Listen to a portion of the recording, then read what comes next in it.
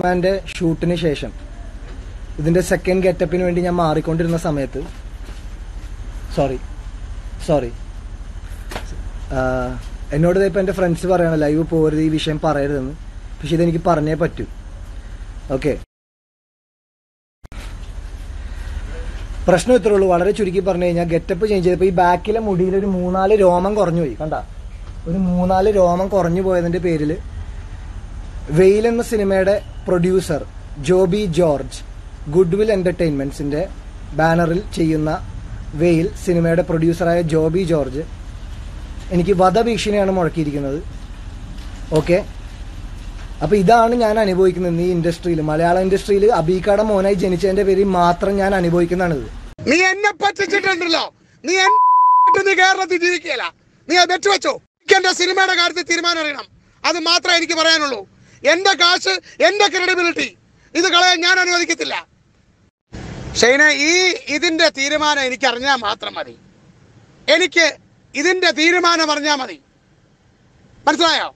നീ എന്നോട് സംസാരിക്കുമ്പോഴൊക്കെ കഞ്ചാവ് അടിച്ച് വിളിച്ചതാണെന്നും നിന്റെ എല്ലാ സാധനവും എന്റെ കയ്യിലുണ്ട്. മനസ്സിലായോ? ഞാൻ ഇന്ന് ഫേസ്ബുക്കിൽ ലൈവിൽ വരാം. എനിക്കിതിന് തീരുമാനം അറിയണം. നമസ്കാരം. ഐക്യു മീഡിയ മലയാളത്തിലേക്ക് സ്വാഗതം. ഞാൻ മൂസ മുഹമ്മദ് ഇക്ബാൽ. ഇന്ന് നമ്മൾ സംസാരിക്കാൻ പോകുന്നത് സോഷ്യൽ മീഡിയ ഏറ്റവും കൂടുതൽ ചർച്ച ചെയ്യപ്പെടുന്ന സിനിമാ ലോകത്തെ ഒരു വാർത്തയെക്കുറിച്ചാണ്. നമ്മുടെ ഷെയ്ൻ നിഗവും അതുപോലെ തന്നെ പ്രൊഡ്യൂസർ ജോബി ജോർജുമായിട്ടുള്ള ഒരു പ്രശ്നത്തെക്കുറിച്ചുള്ള വാർത്തയാണ്. നമ്മുടെ ഷെയ്ൻ നിഗ അഭിനയിച്ചുകൊണ്ടിരിക്കുന്ന വെയിൽ എന്ന് പറഞ്ഞ സിനിമയുടെ പ്രൊഡ്യൂസറാണ് ജോബി ജോർജ്. അദ്ദേഹത്തിന്റെ പ്രൊഡക്ഷൻ കമ്പനിയാണ് ഗുഡ് വിൽ എന്റർടൈൻമെന്റ്.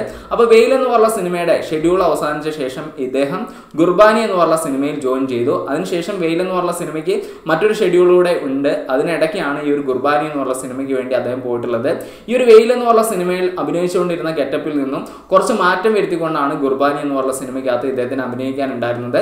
ഇതിന്റെ ഭാഗമായിട്ട് ഇദ്ദേഹത്തിന്റെ മുടി വെട്ടിക്കളയും ഇത്തരത്തിലുള്ള ഒരു ഫോട്ടോ അദ്ദേഹം അദ്ദേഹത്തിന്റെ വാട്സപ്പിൽ ഡി പി ആയിട്ട് വെക്കുകയും ചെയ്തിരുന്നു. ഈ ഒരു സമയത്ത് ഇത് കണ്ടിട്ടുള്ള ജോബി ജോർജ് ഇദ്ദേഹത്തിനെതിരെ ഒരു വധഭീഷണി ഉന്നയിച്ചിരിക്കുകയാണ്. തന്റെ സിനിമയ്ക്ക് വേണ്ടിയിട്ടുള്ള ഈ ഒരു ലുക്കിൽ നിന്നും മാറിയിട്ട് മറ്റൊരു ലുക്കിലേക്ക് പോകുമ്പോൾ ഇദ്ദേഹത്തിന്റെ വെയിൽ എന്ന് പറഞ്ഞ സിനിമയുടെ കണ്ടിന്യൂറ്റി നഷ്ടപ്പെടുന്നതാണ് ഇദ്ദേഹം ഉന്നയിച്ചിട്ടുള്ള ആരോപണം.